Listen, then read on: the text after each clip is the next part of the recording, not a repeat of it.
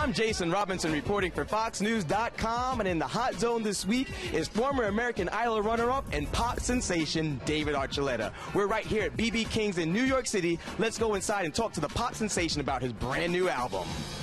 I am here with David Archuleta. How you doing, David? Oh, doing great, thanks. Tell us all about uh, your brand new album that's coming out.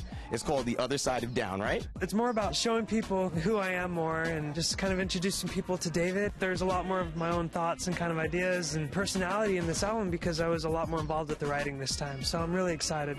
What's the meaning behind the title? It's the name of one of the songs on the album called The Other Side of Down, and it's just about continuing forward and working hard and making progress until you keep making it to the other side of down. How important was American Idol for your career?